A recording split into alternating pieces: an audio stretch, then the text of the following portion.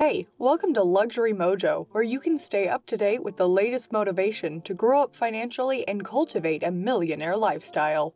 Getting your finances in order and saving money both start with assessing the way you spend money. Most of the time, we spend more money than we make. We never think much about the small purchases, but they add up, sending us into the red by the end of the month. Today, we will be counting 13 things you should stop spending money on now to save more money later.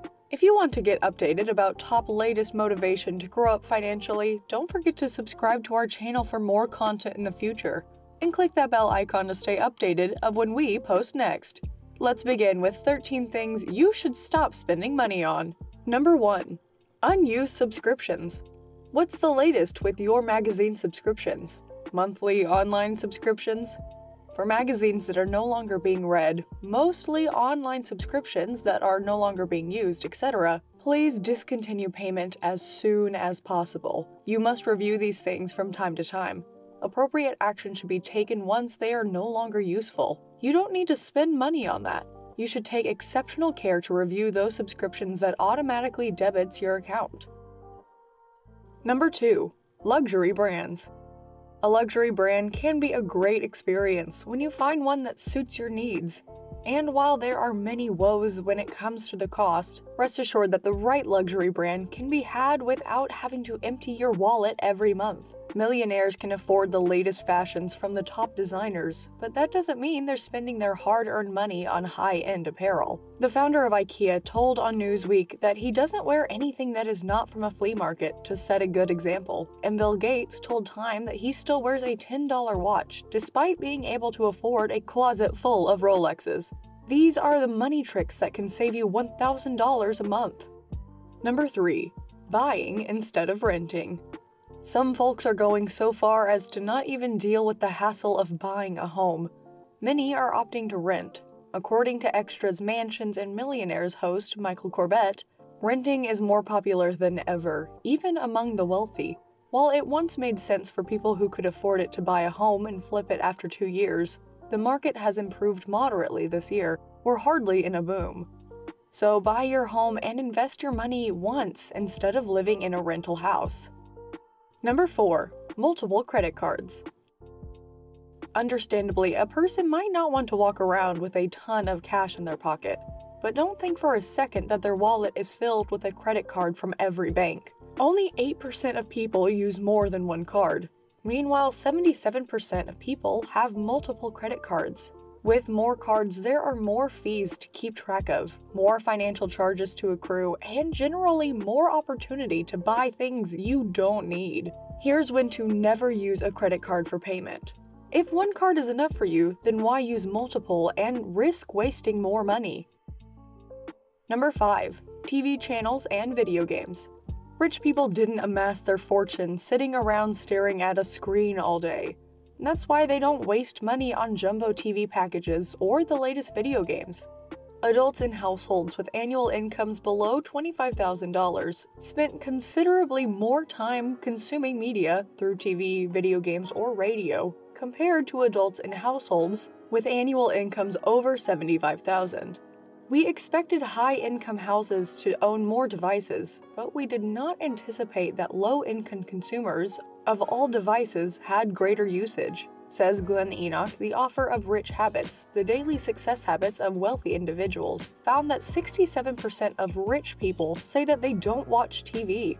To get more money in the bank, follow these habits of people who are great at saving money. Number 6. Individual Greeting Card Celebrating and acknowledging important events is essential part of maintaining positive relationships. But one card with all the bells and whistles can cost up to $10 or more. Crazy, right? You could send an e-card. Many companies will let you personalize and send e-cards to your loved ones in exchange just for your email address. This is an environmentally friendly, money-saving option. If you have children, family and friends love homemade cards and letters. If you make a personalized gift, inscribe it. Buy bundles of cards. Each letter will be under a dollar.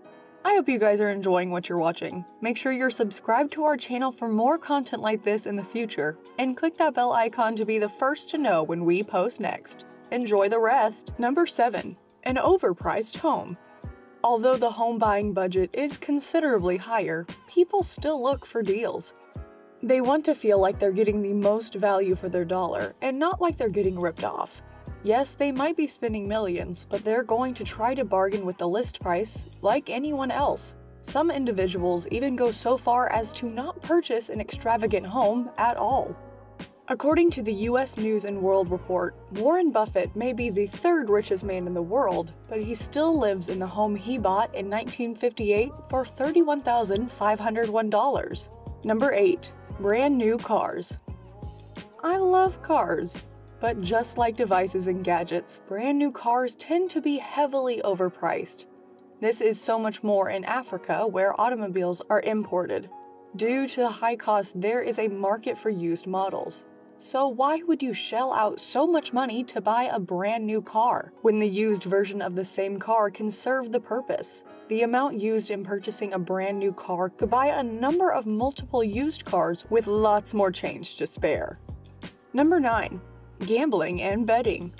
Today, many people believe that by gambling and betting, they can make it big financially. Nothing could be further from the truth. The odds are heavily stacked against individuals.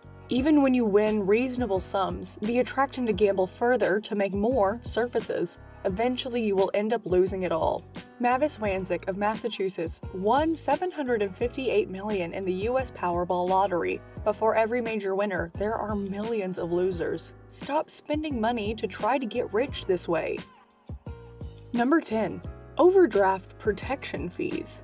This one is aggravating. Most banks offer overdraft protection. Spend more than you have in your account, and the bank will cover the difference up to a certain amount.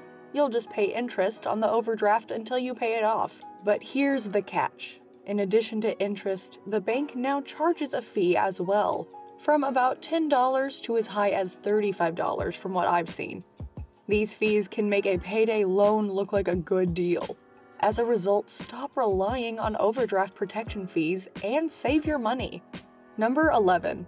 Landlines and fax lines.